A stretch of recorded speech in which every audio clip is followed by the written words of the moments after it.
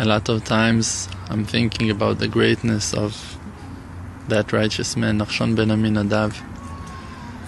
And I'm telling myself, Nachshon ben Aminadav is not only that person,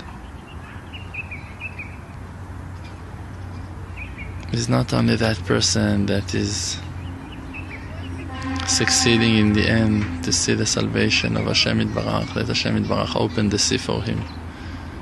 Nachshon ben Aminadav is also that person that finds himself in the middle of the water and the waves are hitting him from the sides and he doesn't have no idea, no understanding of what's going to happen with him. But he's strengthening himself to continue, to make another step into the water, another step into the water, another step.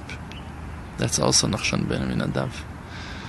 Nachshon ben Aminadav was also that person that five minutes before he didn't know nothing, he didn't have no advice, no solution, and he was lost with the rest of Am Israel in front of Yam Suf and it's still Nachshon ben Aminadav. Nachshon ben Aminadav, we can be Nachshon ben Aminadav in a lot of situations in our lives. Nachshon ben Aminadav, it's not only the success. Nachshon ben Aminadav, it's the process. Nachshon ben Aminadav, it's the will to succeed, to achieve big things,